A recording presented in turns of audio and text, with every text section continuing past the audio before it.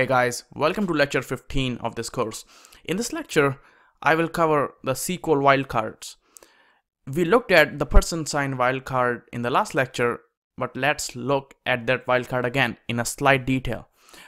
The percent sign wildcard is the most frequently used wildcard in SQL.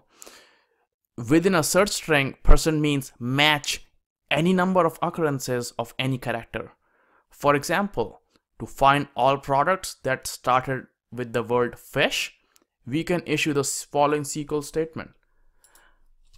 Select prod ID, prod name from products table where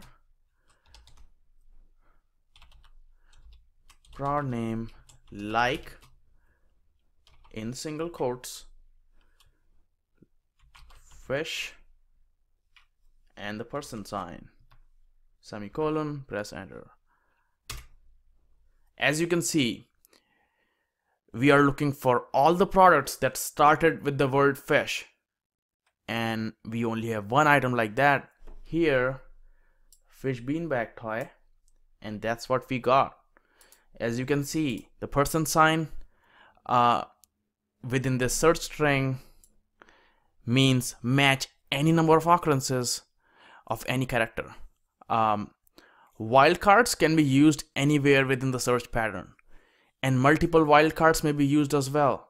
The following example use two wildcards, one at the start and one in the end. So let's do that. Select prod ID, prod name, from products table where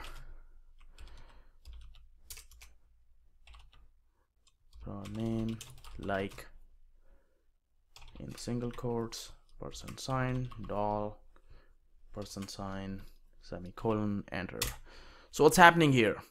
Here in this SQL select statement we are looking for all the products that contain the text doll in it so in this table here, we have two items that contain the text doll in it. We have the king doll and we have the queen doll. So as you can see, it's pretty straightforward to use the percent sign um, wildcard.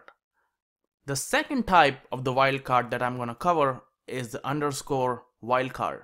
So the underscore is used just like persons the percent wildcard but instead of match, matching multiple characters, the underscore matches just a single character.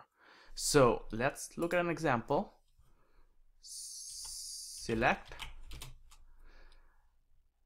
I'm just going to clear this up. You can issue the command system clear. So now as you can see, we have this clean slate here. Let's output the entire table again just to make our life easier from products. Table. So yeah there's the table. So let's use the underscore wildcard select um, product name the usual from the table above.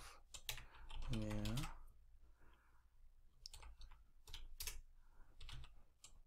Product name like in the single quotes underscore inch teddy bear. Looks good. As you can see we have one item in the output the 8 inch teddy bear. Um, why we don't have these two items in the output? The reason is the underscore matches only the single character 8 is a single character underscore is gonna match just that. It's not gonna match these two items the 12 inch and the 18 inch. The reason is the 12 is a two character 18 is a two character as well. So how can we output these two guys? So we can just do that. Press up arrow on your keyboard to check uh, to see the last query you used. You do that. And just add the another underscore here and press enter. Awesome. So as you can see now we can see these two outputs as well. 12 inch and the 18 inch. But now we cannot see the 8 inch because 8 inch was a single character. And these two are the the two um, are the the double characters. So how can we output all of these um, inch teddy bear um, products? We can do that pretty simple using the percent sign. Just gonna use my up arrow on my keyboard to see my last query and just replace these underscore by the person sign. So what's gonna happen here? Here we will see all the three outputs that contain the text inch teddy bear in it. Press enter. Awesome. So as you can see we have 8 inch teddy bear we have 12 inch and we have the 18 inch because we use the percent sign. Um, so that's pretty much it guys. As far as the SQL wildcards are concerned there are a few more other wildcards that you can use but they're not that common. They, they, you won't you won't use those wildcards as often but if you want you can always go to uh, w3schools.com and just just go for the SQL wildcards. Just go here and as you can see we just covered the percent sign the underscore and then there is this uh, the, the double brackets. But the thing is in your career as a SQL developer you will only be using the percent sign and the underscore mostly. So that's pretty much it guys for uh, for this lecture on wildcards. I'm gonna see you in the next lecture thanks for watching